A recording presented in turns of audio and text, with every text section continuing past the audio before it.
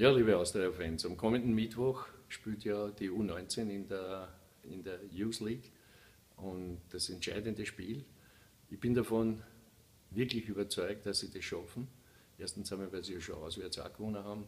Deswegen werden sie das schaffen. Ist überhaupt sensationell und es sollte womöglich ein Stadion gut gefüllt sein, weil das werden die Jungen brauchen und auf die können wir dann stolz sein, wenn sie es weiterhin schaffen.